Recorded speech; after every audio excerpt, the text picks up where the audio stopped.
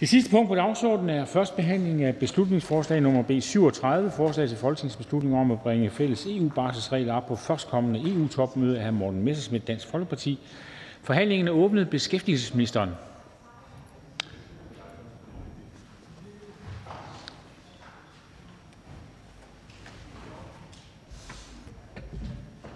Sådan er det med beslutningsforslag.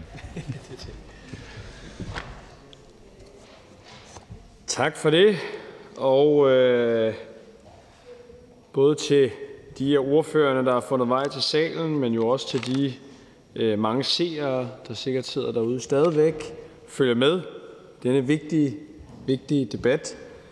Og lad mig begynde med at slå fast, at det for regeringen er hjerteblod at værne om dansk velfærd og selvfølgelig den danske arbejdsmarkedsmodel. Indretningen af det danske velfærdssamfund og det danske arbejdsmarked er et anlæggende for Folketinget og for arbejdsmarkedets parter. Derfor er det også regeringens holdning, at overlovsrettigheder håndteres bedst nationalt frem for på EU-niveau. Når det er sagt, så har regeringen et klart ønske om, at flere danske fædre skal tage mere overlov, og at danske overlovsregler bliver så fleksible som muligt. Derfor glæder det mig også, at vi den 26. oktober 2021 indgik en bred politisk aftale om øremærket overlov med Venstre, SF, Radikale, Enhedslisten og Alternativet. Med den politiske aftale minimumsimplementerer vi overlovsdirektivet og øremærker her ni uger til henholdsvis mor og far. Regeringen ønsker ikke at øremærke mere end de ni uger, fordi det også er vigtigt, at familierne har mest mulig fleksibilitet. På den måde får den enkelte familie mulighed for at indrette sig, så det giver bedst mulig mening for dem. For det er et område, som selvfølgelig optager rigtig mange familier. Og så sent som i torsdag stod jeg også her på talerstolen, fordi vi behandlede et borgerforslag om netop øremærket overlov. Og jeg går ud fra, at det er efterårets debat om øremærket overlov, der også har affødt beslutningsforslaget, som vi skal behandle nu. Med beslutningsforslaget ønsker forslagsstillerne at pålægge regeringen at bringe fælles EU-barselsregler op på førstkommende EU-topmøde, at igangsætte et arbejde med at kortlægge, i hvilket omfang EU har kompetencer og beføjelser til at regulere på barselsområdet, og at arbejde for, at en eventuel kompetence tilbageføres til nationalstaterne. Og lad mig først slå fast, at EU har kompetence til at regulere på det her område. Beskæftigelsesudvalget har i september i år efter ønske fra hr. Morten Messerschmidt stillet et skriftligt folketingsspørgsmål, nemlig folketingsspørgsmål 694, om det samme, nemlig med hvilken EU-EF-traktat Danmark overdrog beføjelser til EU på barselsområdet. Og som den fungerende beskæftigelsesminister svarede i mit fravær, fordi jeg selv var på fædreoverlov, så er det vurderingen, at det daværende EF havde mulighed for at regulere området, allerede da Danmark blev medlem i 1973. Allerede i 70'erne og 80'erne blev der vedtaget direktiver på det ansættelsesretlige område om rettigheder ved blandt andet virksomhedsoverdragelse, kollektive afskedelser og solvens. Senere har man så med Maastricht-traktaten fået et mere specifikt hjemmelsgrundlag. Derfor er der ikke behov for at vurdere, om der er kompetence, for det er der. Det indebærer jo så også, at vi kan gå direkte til spørgsmålet om at tage kompetence tilbage, som forslagstillerne lægger op til. Hvis EU's kompetence på overlovsområdet skal tilbagetages, kræver det selvfølgelig en traktatændring. En traktatændringsproces er en væsentlig begivenhed. Det betyder, at øh, alle medlemslande og andre aktører på europæisk plan vil kunne fremføre deres ønsker om ændringer og tilføjelser, vel at mærke ændringer og tilføjelser, som meget vel kan være stik modsat danske interesser. Og det er slet ikke en vej, som vi på nuværende tidspunkt hverken ønsker eller ser behov for at gå ned ad. Regeringen er skeptisk over for EU's mulighed for at regulere på store dele af arbejdsmarkedsområdet. Vi har for eksempel lige stemt nej til direktivet om passende mindstelønninger. Men der er også områder, hvor vi ser positivt på EU-regulering, for eksempel arbejdsmiljøområdet og senest foreløbig dansk opbakning på ligelønsområdet. Vi mener, at EU skal arbejde for at opnå konkrete resultater for borgerne og ikke kaste samarbejde ud i overlange diskussioner om mulige traktatændringer. Vi skal heller ikke stille os selv uden for døren. Vi kan ikke løse de mange grænseoverskridende udfordringer alene, for eksempel og mest nævneværdigt udfordringerne med social dumping. I den forbindelse er der i de senere år sket forbedringer i EU-reglerne, der kan bidrage til kampen mod social dumping, og hvor Danmark har været med til at presse på. Det gælder blandt andet det reviderede udstationeringsdirektiv. Med det reviderede udstationeringsdirektiv rykkede man jo balancen i EU-reglerne til fordel for beskyttelse af arbejdstagerne. For eksempel blev det gjort klart, at man kan kræve den sædvanlige aflønning og ikke blot mindsteløn, og en tjenesteyder kan maksimalt udstationere en arbejdstager i 18 måneder, før værtslandets regler gælder fuldt ud. Der er altså sket gode forbedringer, men regeringens kamp stopper ikke her. Vi er blandt de lande, der er presset på for, at der bliver endnu bedre muligheder for at kontrollere, at udstationering er reelle, herunder at man ikke udstationeres fra postkassevirksomheder. Konkret har vi, har vi foreslået indførelsen af et ID-kort for vandrende og udstationerede arbejdstagere. I øjeblikket er der en bevægelse i en række lande i, i, i kommissionen og i Europaparlamentet, der taler for, at mobile arbejdstagere skal have et socialsikringspas. Særligt efter udmeldinger fra den nye tyske regering, så kan der komme skub i den sag. Danmark har også med lande som Belgien, Nederlandene, Tyskland og Østrig taget problemstillingen om udstationering af tredjelandsborgere op i regi af den europæiske arbejdsmarkedsmyndighed ELA, så det nu er et prioritetsområde. Det er generelt helt afgørende, at vi bruger de muligheder, som EU-reglerne giver, og implementerer dem med respekt for vores nationale arbejdsmarkedsmodel. For eksempel har regeringen med afsæt i EU's udstationeringsregler sammen med et bredt flertal i Folketinget, herunder Dansk Folkeparti, indført regler, der skal bidrage til at forhindre social dumping på landevejene. Og de eksempler, jeg har nævnt her, viser, at vi kan og skal arbejde for danske interesser og konkrete resultater inden for rammerne af EU-samarbejdet. Samarbejde, der har afgørende betydning for dansk vækst og velstand. Det gør vi bedst ved at blive ved, blive ved forhandlingsbordet og forhandle i EU frem for at kæmpe for nye forbehold og traktatændringer. Når det er sagt, så tror jeg heller ikke, at det er realistisk, at alle lande skulle gå med til en sådan idé om at tage kompetencerne tilbage. Med de betragtninger, jeg har redegjort for, kan regeringen ikke støtte beslutningsforslaget, og jeg skal på regeringens vegne opfordre til, at beslutningsforslaget forkastes. Tak for ordet. Kort bemærkning til hr. Morten Messerschmidt, Dansk Folkeparti. Tak, formand. Det var min opfattelse, at regeringen øh, var imod, øh, at EU øh, havde beføjelsen på barselsområdet. Så gav det jo ikke meget mening, at den tidligere ligestillingsminister, hr. Mogens Jensen, Øh, lige efter han var tiltrådt, gik ud med en eller anden tanke om, at Danmark skulle få en undtagelse. Og derfor er det her øh, forslag egentlig set som et forsøg på at komme regeringen i møde. Øh, ikke ved overlange diskussioner. Øh, mig bekendt var et topmøde i hvert fald ikke flere år, men typisk bare nogle dage. Og der øh, at kunne rejse det her tema om, hvor EU egentlig bevæger sig hen, ikke i forhold til alle de meget fine ting, som ministeren nævner, som vi måske kan blive enige om, at det giver mening at have fælles regulering om, men specifikt på det her barselsområde, hvor jeg synes, vi mangler en forklaring på, hvad det egentlig er, der er det afgørende for, at EU overhovedet skal regulere vores barselsregler. Minister? Ja, der er flere ting øh, i øh, hr. Morten Messersmiths indlæg. Altså, først og fremmest så har han jo ret i, at øh, det var den, den daværende ligestillingsministers første udmelding, og det var også, og, og, og står jeg gerne ved, fordi jeg var selv EU-ordfører på daværende tidspunkt, en del af den socialdemokratiske position, øh, dengang at debatten øh, gik, lige da forslaget var blevet lagt frem. Men det stod også ret klart ret hurtigt, både efter den daværende regering tog mandat i Europaudvalget og som forhandlingerne skred frem, at der ikke var diskussion om, hvorvidt øh, EU reelt havde kompetence til det her, og derved så gik i hvert fald Socialdemokratiet, dengang var i opposition, og også øh, ret hurtigt efter vi kom i regering, al energi på at forsøge at forhindre, at reglerne blev vedtaget. Men de blev nu engang vedtaget, og derfra har vi jo forsøgt at gøre det til vores opgave at implementere dem, øh, så de gør, øh, både så de bliver minimum implementeret, øh, men jo også så det sker i respekt for danske familiers fleksibilitet. Messerschmidt, værsgo. Vi taler jo slet ikke, minister, om, hvorvidt Danmark har givet beføjelse, eller hvorvidt EU har beføjelse på det her område, fordi det er jo evident. Altså i hvert fald så evident, som det må være på så mange andre områder. Vi taler om, hvorvidt det er ønskværdigt. Og Socialdemokratiet har i hvert fald indtil for ganske nylig haft den position, at det ikke var ønskværdigt. At EU ikke skal have kompetence på dansk socialpolitik herunder barselsregler. Og det er bare et underligt standpunkt, hvis man på den ene side mener, at EU ikke bør have kompetence på et område, EU har kompetence på, men man så jo ikke gør noget for at forhindre, at EU har den kompetence.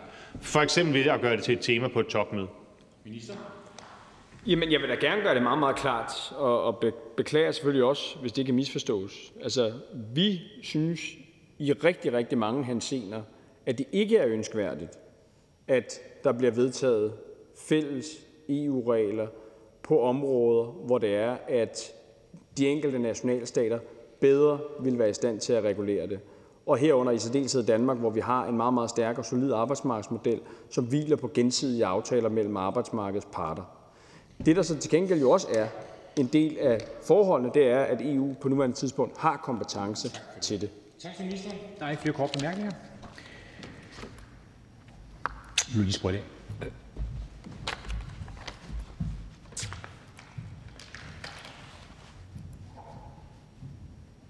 Tak for det. Hr. Jens Joel, Socialdemokratiet. Tak for det, formand.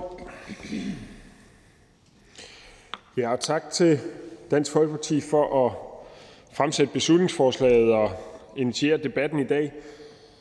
Jeg vil gerne starte med at sige, at vi jo i Socialdemokratiet er glade for den brede aftale, der er lavet på barselsområdet. Det er vi, fordi vi synes, at man med den aftale sikrer størst mulig fleksibilitet. Man sikrer en minimumsimplementering af, af det EU-direktiv, som er kommet. Og det er også klart, som beskæftigelsesministeren har sagt, at vi jo gerne ser, at danske fædre tager mere barsel. Når alt det er sagt, så er det også rigtigt, som øh, der jo også lidt ligger i øh, beslutningsforslaget og i hr. Morten Messersmiths oplæg til diskussionen her, at vi ville gerne, eller vi havde gerne set, at EU ikke have blandet sig i det her område. EU ikke dikterede, hvordan barselsreglerne skulle indrettes, fordi vi som udgangspunkt synes, at det ligger bedst hos arbejdsmarkedets parter i en dansk øh, diskussion. Sådan har vi nu engang indrettet rigtig mange ting på vores social-, øh, velfærds- og arbejdsmarkedsområde herhjemme. Men øh, som ministeren også øh, har redegjort for, så er det vores opfattelse, og har været det øh, en rum tid, men i øvrigt også øh, aktualiseret af det spørgsmål, som hr. Morten Messerschmidt har stillet, øh, at EU jo faktisk på det her område har en kompetence. Og derfor så kommer man jo ikke udenom, uanset at hr. Morten Messerschmidt siger, at et topmøde kun tager et par dage, så kommer man jo ikke udenom, at hvis man tager det op der, så må det jo være med henblik på at få en traktatændring, som i givet fald kan lave det om. Og der er jeg enig med regeringen og ministeren i, at åbner man for en traktatændringsdiskussion, så tager det for det første relativt lang tid, så risikerer man jo også, at der er en hel del andre kræfter i Europa, som vil en anden vej end Danmark, som udnytter den traktatændringsdiskussion til måske i virkeligheden at flytte sig længere ind over nogle af de social- og arbejdsmarkedsområder, som vi mener, vi selv skal regulere. Så det er jeg ikke sikker på er en, en frugtbar vej at gå, men øh, jeg synes til gengæld, at diskussionen om, øh, hvad skal EU fylde på vores øh, sociale område, på vores arbejdsmarkedsområde, på vores velfærdsregulering, er en sund diskussion, fordi vi jo har den til daglig, når der kommer konkrete forslag. Er det nogen, hvor vi faktisk ønsker EU's indblanding, eller er det som med mindstelønsdirektivet et område, hvor vi siger, at EU skal holde snitterne væk? Det er noget, danske øh, lønmodtagere og arbejdsgiver skal regulere, og der bliver vi nødt til at sige fra. Når vi har den grundlæggende opfattelse, at EU-samarbejdet er godt og vigtigt og nødvendigt for vækst og velstand og for klimabekæmpelse og for bekæmpelse af skattely og alle de der ting, øh, som er grænseoverskridende, så har vi jo dermed også sagt, at vi synes, det er godt og rigtigt, at vi har et EU-samarbejde, men det er jo slet ikke det samme som, at EU-samarbejdet skal bredes over alle områder. Og derfor er jeg egentlig, øh, vil jeg egentlig byde den velkommen, den diskussion, som hr. Morten Messersmith rejser omkring, hvad er det, øh, EU skal regulere og hvordan. Vi mener ikke, at det er hensigtsmæssigt at gå ind i en større diskussion omkring øh, traktatændringer, og vi glæder os over, at vi har lavet et, et bredt, en bred aftale om, hvordan vi minimumsimplementerer det her barselsdirektiv til gavn for danske familier. Og jeg har lovet, udover at sige, at Socialdemokratiet ikke støtter beslutningsforslaget her, og hilse fra SF og Radikale og sige, at de heller ikke støtter forslaget. Tak for det. Så får vi en kort bemærkning til hr. Morten Messersmith. Værsgo. Men det er da enormt bizart at hilse en diskussion velkommen, hvis man ikke skal bruge den til noget.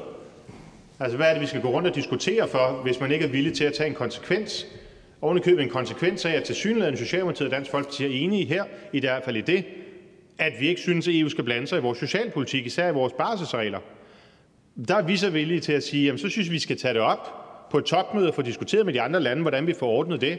En traktatændring ved jeg ikke, om er nødvendig. Man kunne lave en protokol, som vi har det på andre områder, hvor Danmark bare på det specifikke område så udtræder af traktaten, så dem, der elsker at EU regulerer deres barselsregler, de kan jo bare blive der i. Men det er da en fuldstændig underlig diskussion, kun at have diskussionen uden at skulle bruge det til noget, her Sol. Hvad, hvad, hvad skal vi diskutere for, hvis Socialdemokratiet ikke er villige til at tage konsekvensen af, at vi synes, det EU, vi har i dag, er noget skidt? Skal vi så bare stå her og diskutere for at bruge tiden? Altså, ja, der er fem kvarter tilbage, så er det en ny dag. Så har det, har det haft nogen værdi, hvis ikke Socialdemokratiet er villige til at også konkludere noget handling på det? Hvorfor? Jeg tænker måske, det er slet skjult, hvis man, øh, hvis man udleder, at, at Dansk Folkeparti er skeptisk over for vores EU-medlemskab og gerne så, at vi melder os ud. Og der tror jeg bare, vi er uenige. Og derfor så kan jeg jo godt se, at den her diskussion kan jo sagtens bruges til at finde eksempler på, at EU på, på nogle områder gør nogle ting, som vi er uenige i, og som vi derfor bekæmper. Og så kan man jo bruge det som et argument for, at så kunne vi vælge at melde os ud. Det vil jeg synes var en forkert strategi. Det betyder jo ikke, at vi ikke skal kæmpe imod, hvis EU blander sig på et område, vi ikke mener, de skal blande sig på, eller at vi kan være uenige i den konkrete løsning, hvis det er et område, hvor EU faktisk har kompetencen til at blande sig, men hvor vi synes, man vælger de forkerte redskaber. Jeg forstår slet ikke, hvad, hvad det har med sagen at gøre, hr. Jol. Altså, at vi ønsker noget andet med EU end Socialdemokratiet, ændrer vel ikke på, at hvis vi på det her specifikke område er enige om, at EU har fået en kompetence, som vi ikke ønskede, at EU skulle have, det rejser jo nogle spørgsmål i forhold til, hvor let sindigt vi virkelig overdrager kompetencen, men det kan de partier, der har stemt ja, jo tænke lidt over i deres lønkammer hen over julen. Men det væsentlige må jo være, at hvis vi er enige om, at beføjelsen ikke burde have været overdraget, er der så ikke bare en moralsk pligt til, at man så også gør noget for at få den tilbage, i stedet for bare at stå her og sige, at man vil have diskussionen for diskussionens skyld? Hvorfor?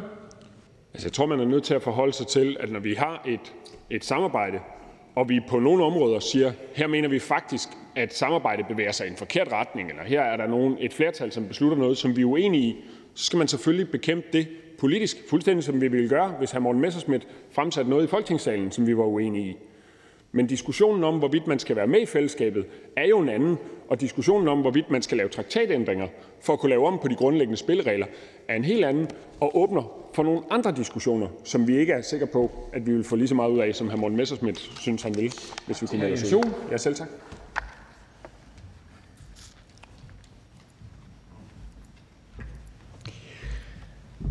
Og så er det hr. Hans Andersen, Venstre. Tak for det. Vi behandler øh, som nævnt et beslutningsforslag fra Dansk Folkeparti, der pålægger regeringen at bringe de fælles EU-barselsregler op på det førstkommende EU-topmøde.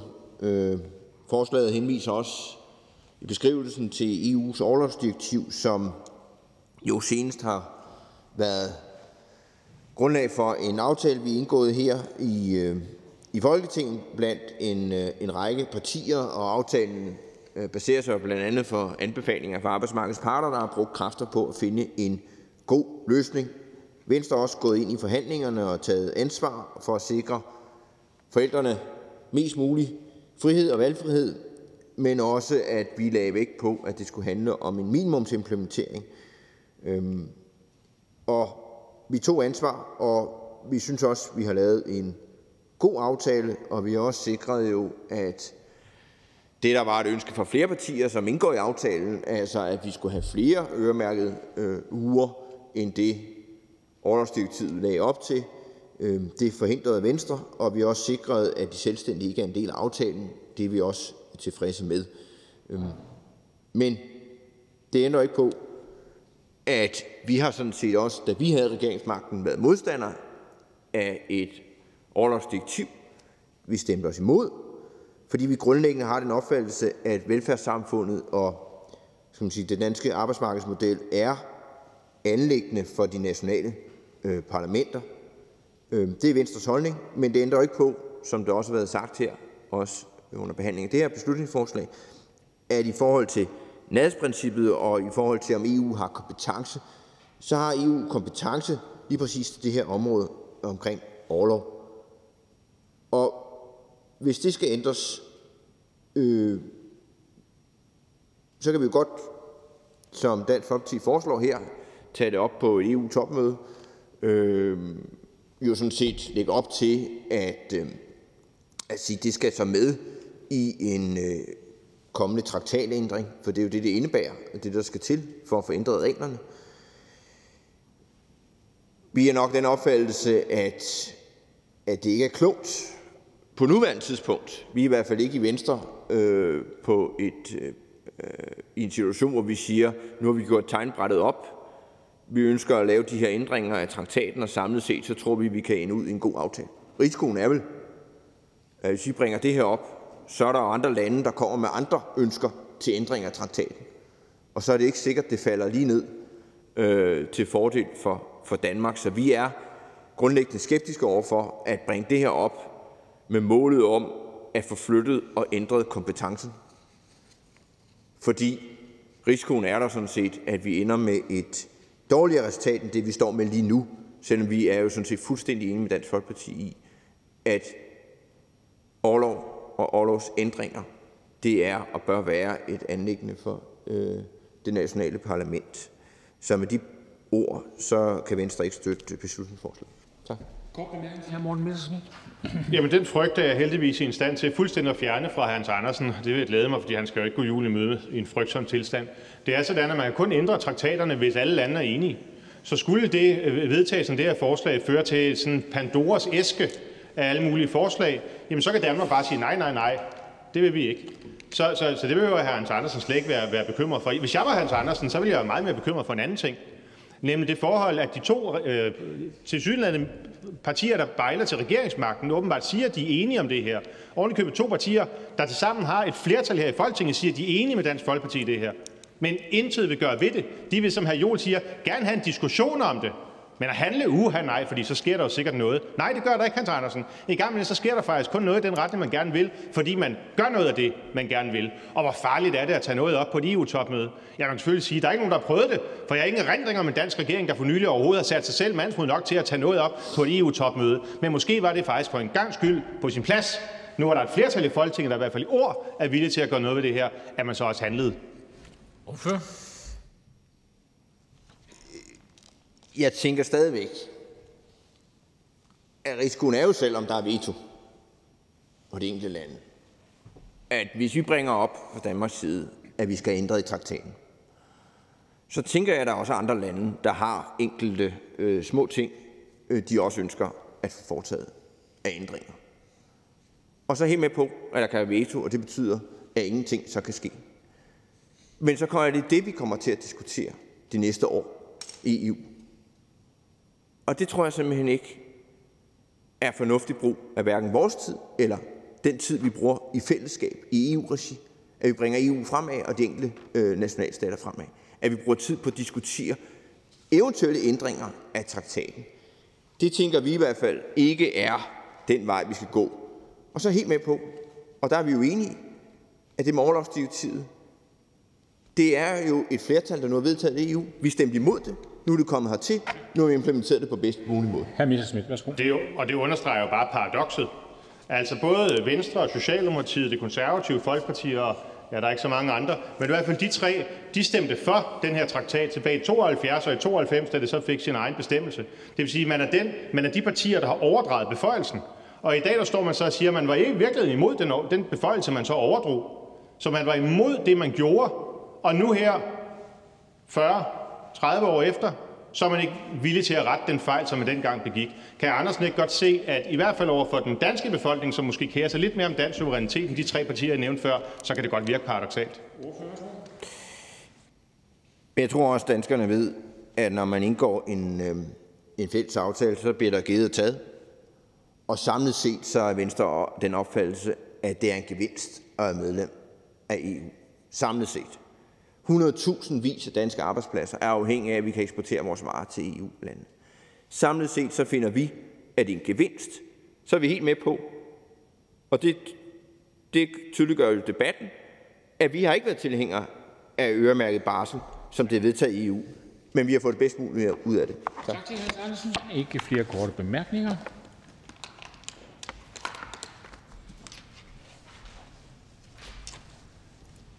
Tak for det. Fru Katarina Ammitzbøll. Tak. Konservativ Folkeparti. Ja, tak. Ja, er der noget bedre her den 21. december at øh, stå og tale om EU og barsel? Det er jo herligt. Øh, det er jo et emne, der er blevet drøftet en, en hel del i dette år. Og øh, særligt det her med den øremærkede barsel har vi jo alle sammen øh, drøftet. Og øh, det er jo også noget, som vi i det konservative Folkeparti stemte imod. Men med det her forslag, så pålægger jo her DF, at øh, regeringen skal tage barsel op på det førstkommende topmøde. Nu er det jo ikke, fordi jeg normalt vil stå og forsvare regeringen, men øh, der har jo været rejst kritik af kommissionen omkring den øremærkede barsel til mænd. Og man kan jo godt drøfte barsel, men det er jo et del kompetence, og der har været rejst kritik. Så spørgsmålet er måske snarere, og det kunne man jo tage op, hvordan national kompetence defineres og beskyttes, og hvilke kriterier der ligger for det. Et andet forslag, der er i det her beslutningsforslag, det er, at der skal kortlægges, i hvilket omfang EU har kompetence til at bestemme barsel. Der er jo allerede lavet flere notater, både inden for beskæftigelsesområdet, EU-området, og øh, det har jo altså været vurderet også fra kommissionens side, at det jo ikke strider imod det. Men man kan jo få det her nærmere afklaret, hvis det skal tage, og det kan man jo tage op i et eventuelt udvalgsarbejde. For det tredje så siger jo forslaget her, at der skal arbejdes for at hive kompetencen hjem igen. Og man citerer her, at det har været vedtaget i Folketingets ligestillingsudvalg, at det strider imod nærhedsprincippet, i det udvikling i overlovsrettigheder bør ske nationalt med hensyn til nationale traditioner. Måske mangler DF her at oplyse, at Folkepartiets partier blev faktisk ikke enige om det, hvorvidt det var i strid med nærhedsprincippet i den kritiske udtalelse, man sendte til kommissær Marianne Thyssen, kommissær Vera Jourova i juni 2017. Det var faktisk kun DF og EL i det kritiske brev. Men det er rigtigt, at ligestillingsudvalget nævnte det, men ikke for Folketingets partier. Nu har overlov været en del kompetence siden 1973, så EU har beføjelser på det her. Det er jo ikke en ene kompetence, men del kompetenceområde, hvor medlemsstaterne også kan overleve, og lovgive. Vi synes jo her, at EU gik for langt her sidst med den øremærkede barsel, men det betyder jo ikke, at vi skal tage det helt op og lave en traktatsændring. Hvis kompetencen netop trækkes tilbage, som det foreslås af DF, så vil det kræve en traktatsændring. Hvad vil det betyde for andre områder, og det er den rigtige vej at gå. Det vil blive så også nævnt af den tidligere ordfører. Så måske er det faktisk den vej, vi skal gå, det er at få set på, hvad er den nationale kompetence, og hvordan får vi den mejslet fast. For efterset kriterier, så de er utvetydige, klare og hermed sikre, at den danske regering har mulighed for at udmynde regler om barsel såvel som beskæftigelse i overensstemmelse med danske traditioner og lovgivning. Det kunne vi godt se, men vi kan ikke stå inden for det her beslutningsforslag. Tak for ordet. Hr. Morten Messerschmidt, kort bemærkning. Ja, som jeg forstår det, så stemmer det konservative Folkeparti øh, imod implementeringen af øh, det her øh, direktiv. Betyder det så også, at man er uenig i, at EU har fået beføjelsen, altså ligesom vi har hørt det fra Venstre og Socialdemokratiet, ikke dermed sagt, at man har lyst til at gøre noget ved det. Altså, det er slet ikke det, jeg antyder, men altså, at man er af den opfattelse, at det var forkert, at EU fik den her beføjelse. Ordfører? Nu skal jeg forstå ordførens spørgsmål, om EU har fået den her beføjelse oprindeligt helt tilbage, altså til 73 og før det. Det øh, er jo svært at sige, det er, vi kan være for eller imod. Det har ligget der i så lang tid. Det, vi ser nu, det er jo, at det er en del kompetence, og det er jo det, vi hæfter os ved, at det er muligt at lovgive, altså også på dansk jord. Og det er jo det, vi skal have fokus på. Der er jo flere andre områder, hvor, e, hvor der er del kompetence, og der kan vi bare se, at EU er ved at gå for langt. Der er rigtig mange gode ting i EU, men der på det her område, der går EU længere og længere, som vi har set med mindsteløn, og vi drøftede det jo med kommissæren også, der kom til Danmark. Han lovede at beskytte den danske model, men det skete ikke. Så her er der jo brug for, at vi stiller mere op og siger, at den nationale kompetence, det skal respekteres. Messerschmidt? Ja, undskyld, øh, jeg forstod simpelthen ikke svaret. Altså, er det konservative Folkeparti for eller imod den beføjelse, som EU-samarbejdet i dag har i forhold til barselsregler? Som der blev givet i sin tid. Det må jeg undersøge nærmere, hvad vi har stemt helt tilbage i den tid. Det er jeg ikke klar i min historik. Hr. Jens Juhl. Ja, tak for det. og tak til den konservative ordfører, jo også for øh, i lighed med os ikke at støtte beslutningsforslaget. Men, men jeg vil egentlig spørge, når nu ordføreren siger, at det her er en EU-kompetence, øh, og jo også den regering, som ordførens parti var en del af før sidste folketingsvalg, vurderede, at det faktisk var en EU-kompetence. Og nu har man så vedtaget et direktiv, som det konservative folkeparti, som jeg forstår det, så ikke vil implementere, altså vil stemme imod implementeringen af et EU-direktiv. Kan den konservative ordfører nævne andre eksempler på, at det er sket, at et regeringsbærende parti ikke vil implementere en lovgivning fra et fællesskab, man er en del af? Ordfører? Nej, ikke til min erindring har det været sket før. Nu var det også sådan, at øh, også vores MEP i øh, Bruxelles stemte heller ikke for forslaget i sin tid med den øremærkede barsel til mænd, da det blev taget op. Og nu er det jo udmyndningen i, hvordan det skal ske, som vi har været imod, og synes også, at det er på sin plads at markere, at der er altså nationale kompetencer, der skal respekteres. Og det har også været en lidt en anden tid, men nu ser vi jo bare, at EU går længere hen. Altså nu nævnte jeg også mindstelønnen, og jeg sad i det samme møderum med kommissær Hans Schmidt, hvor vi sad i EU-udvalget og talte om mindsteløn, og hvad blev lovet, vi respekterer den danske tradition, trepartsaftaler, hvad er det, der sker? Det kører videre alligevel. Så det er jo behov for, at vi begynder at stille op på nogle ting, særligt på beskæftigelsesområdet. Hr. Jens Joel? Jamen, det kan jeg godt være, være enig i, at der er nogle diskussioner, vi skal have her, men, men med al respekt, så er det jo ikke noget argument for, at et parti, der ønsker at være regeringsbærende, ikke vil implementere en lovgivning, som jo ikke er øh, frit valg. Altså, det er jo en forpligtende, et forpligtende samarbejde, vi er med i. Alligevel ønsker de konservative ikke at støtte en implementering. Hvad er egentlig planen for at, at skulle undgå det? Altså, forestiller man så at tage en retssag, som man taber, eller hvad er den konservative plan, skulle man øh, komme i regering igen på et tidspunkt? Ordfører? Nu havde vi jo heldigvis øh, muligheden her som i opposition, og så netop vise vores markante holdning til at sige, at det vil vi gå imod. At det er, fordi der går det simpelthen for langt. Og det vil vi jo også, hvis vi havde siddet i regeringen, havde vi måske også taget den højere op, og måske været meget mere udfarende og, og forhandlet meget tidligere også i Bruxelles, om det er markeret. Måske, altså, men det er jo kommet før, vi har jo ikke stemt for det, men altså, vi har helt taget diskussionen op tidligere. Tak til ordføreren. Der er ikke flere korte bemærkninger. Tak. Du er sød at spritte af. Det var ja. Det var bare med de, de, de du er bare tænke i de der klude der. Sådan, tak skal du have. Og så er det ordføreren for. Morten Messerschmidt, Tak, formand. Dansk Folkeparti.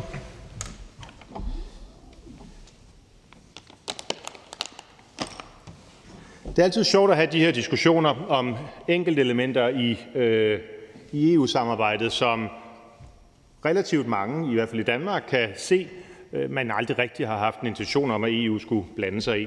For nogle uger siden var det et spørgsmål om mindsteløn, hvor EU nu har grebet omkring øh, det danske overenskomstsystem på en måde, som jeg tror, de færreste af dem, der i sin tid stemte for øh, EF og EU-traktaterne, har ønsket eller forudset. Nu har vi så barselsreglerne, og det er jo en tilbagevendende diskussion på område for område, hvor EU alligevel uden man havde forudset dem, har fået en beføjelse. Og det, der er øh, måske den tragiske side af den til tider nogle gange lidt komiske opførelse, ja, det er jo, at der er ikke nogen af de partier, som i sin tid har stemt for traktaterne, der til synligheden er villige til så også at gøre noget ved det. Fordi hvis man sætter hele EU-medlemskabet på spil, så kommer det til at koste rigtig, rigtig meget. Man kunne også indvende, at den, der hele tiden dukker hovedet, jamen har intet at miste. For det her det handler jo ikke kun om kroner og øre, og det handler jo heller ikke om det danske EU-medlemskab. Det handler om, at man som spiller i en klub nogle gange siger stop. Når spillereglerne bliver brudt, når forudsætningerne de bliver krænket, at man så siger, det var ikke det her, vi skrev under på. Og når ovenikøbet de partier, der altså i sin tid har stemt for, både 72, som vi hørte ministeren sige det, men også i 92 i dag kan sidde og sige, det var ikke det, der var vores forudsætning, hverken på mindsteløn eller på barselsregler og socialpolitikken, jamen så er det vel egentlig ikke for meget at forvente, end at der bliver sagt stop. Det, vi stiller i dag i Dansk Folkeparti som forslag, er jo ikke, at Danmark så som en konsekvens skal træde ud af EU. Det kunne vi såmænd godt foreslå, men vi gør det på en anden måde og i en anden sammenhæng. Det, vi gør, det er, at man inden for de etablerede spilleregler, der gælder, når man holder topmøder i EU, at man vil tage det her op, enten som udenrigsminister eller som statsminister. Det er ikke ualmindeligt, at der holdes topmøder. Det sker faktisk med en relativt jævn frekvens. Det er heller ikke ualmindeligt, at lande melder ind, at man gerne vil diskutere det ene eller det andet. Det kan være økonomiske anlæggende, det kan være traktatmæssige anlægninger, det kan være udenrigspolitik osv. Der vil ikke være nogen som helst, der vil synes i EU-samarbejdet, at det var underligt, at Danmark, som generelt betragtet jo anskues som et EU-kritisk, euro-kritisk land, ville have en diskussion om, hvorvidt den meget voldsomme integration af magt, der sker, skulle drøftes på højeste niveau. Men det kan vi så ikke komme igennem med. Det konservative Folkeparti fandt jeg aldrig rigtig ud af, hvorfor var imod. Men i hvert fald Venstre og Socialdemokratiet kan jeg forstå, at man er primært imod, fordi man kun vil have diskussionen. Og det synes jeg alt talt er lidt povert. Fordi hvorfor skal man have en diskussion, hvis man så ikke er villig til at handle ud fra, at vi til synligheden er enige om, at EU på nogle områder i dag i hvert fald er gået for vidt? Hvorfor skal det altid være sådan, at hvis man påpeger de mange huller i osten, så får man at vide, som hr. Andersen sagde, ja, jamen vi har så mange erhvervsinteresser, eller som hr. Jol sagde, jamen så øh, åbner vi for Pandoras æske. Hvorfor kan man ikke bare forholde sig til det, der er kritikken? Måske er det fordi ja-partierne ikke er i stand til at forholde sig til kritikken, at vi aldrig nogensinde rent faktisk får gjort noget ved tingene. Og det synes jeg, der må kalde på en lille smule refleksion. Nu ved jeg godt, at øh, tiden er ved at rende ud. Sådan i fysisk forstand. Vi er kommet lidt længere hen på dagsordenen, end jeg tror, de fleste af os havde håbet og forventet, i forhold til, hvornår den her tunge diskussion om EU skal, øh, skal, øh, skal finde sted. Men måske er tiden også ved at rende ud for de partier, der tror, man kan blive ved med bare at bilde befolkningen ind, at kritik det fører nødvendigvis til, at så sker der noget helt frygteligt. Fordi britterne har jo vist, at det gør der ikke nødvendigvis. Den britiske samhandel med EU var i sommer, da coronaen var nede, fuldstændig på niveau med det, som gjaldt, inden britterne valgte at melde sig ud. Og jeg siger ikke det her for at true nogen, du kan aldrig nogensinde falde mig ind. Jeg siger det bare som en venlig øh, påmindelse, at hvis man som et af de partier, der traditionelt betragter sig selv og betragtes som pro-EU, er så bange for ikke bare at tage diskussionen om, men også konsekvensen af, at EU i dag har fået langt større beføjelser, end man havde forventet, og har langt mere reguleringsmagt end det, som jeg tror et stort flertal i den danske befolkning ønsker sig, så kunne det jo godt være, at det faktisk satte en negativ spiral i gang. Det vil jeg ikke og mit parti, Dansk Folkeparti, på ingen måde hilse uvelkomment. Tværtimod, vi agter sådan set selv at skubbe gang i den proces ganske start, fordi vi ønsker dansk udmeldelse af EU. Men hvis man ikke ønsker det, så kunne det jo være, at man skulle gøre EU bare en lille smule mere appetitligt for den europæiske, herunder også for den danske befolkning, og ikke kun ønske sig en diskussion, men rent faktisk også prøve at bevæge EU i en anden retning. Det er bare ment som en venlig henstilling eller opfordring. Vi kommer i hvert fald i mit parti til kontinuerligt at pege på de fejl og mangler, der er i det her EU-samarbejde. Ikke bare for, som hr. Joel siger, at få en diskussion om det, men også for at sige, hvis ikke det er muligt at påvirke EU-samarbejdet i en retning, der for os for flertallet her i Folketinget, og angiveligt nok et endnu større flertal ude bag de tykke mure, at det vi ønsker, jamen så er der jo kun et alternativ, og det er et Dexit. At gøre ligesom britterne har gjort, ikke fordi vi ikke ønsker at samhandle, hr. Andersen, de, det er helt åbenlyst, altså ligesom vi i øvrigt har en fordel af, at de 50 stater i USA har slået sig sammen, og altså at man har et marked der, vi kan eksportere samlet til, må ikke vi så vil have de fleste af de fordele ved indre marked, som findes i dag, Øh, også selvom vi selv trådte ud af det. Det er trods alt stadigvæk en 25 lande, man så kan eksportere til, indtil der selvfølgelig er andre, der også der bliver klogere og begynder at forlade den synkende skude. Men måske er det sådan set hele pointen, at hvis nu EU bare var blevet ved EF, hvis nu ikke man var begyndt at blande sig i alle mulige politiske spørgsmål fra udlændingeanlægner til socialpolitik, arbejdsmarkedspolitik, skoleforhold og hvad ved jeg,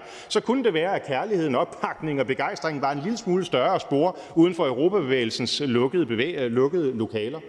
Og det er jo det, der er hele pointen. Der er altså en grænse for, hvor lang tid man kan snyde befolkningen til at tro, eller true befolkningen til at tro, at det her EU-samarbejde det er så heldigt, at det ikke kan ændres. Fordi det kan det.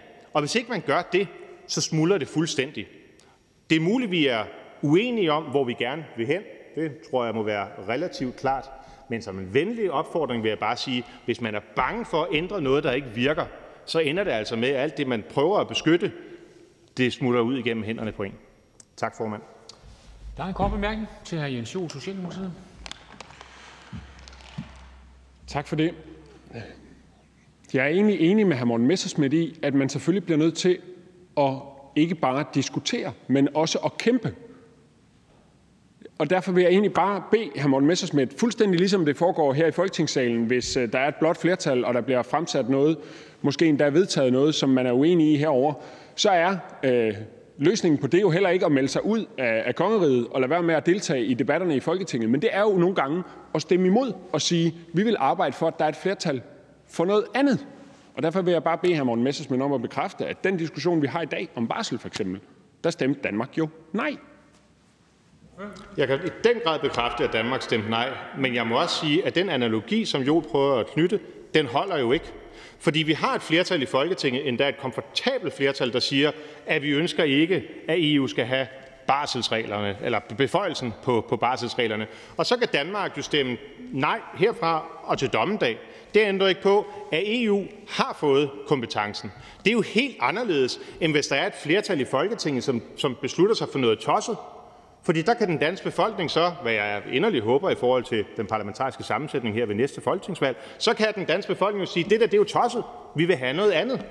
Men om så alle folketingsmedlemmer her de mente, at EU skulle ikke have beføjelsen på det område, ja, så kan det jo ikke ændre noget, fordi vi har kun de medlemmer, vi har i Europaparlamentet, vi har kun de stemmer, vi har i ministerrådet, og vi har kun den ene kommissær, som vi har, og så det ved domstolen, hvis man skal tælle det med. Så derfor holder billedet jo ikke, herr Jo.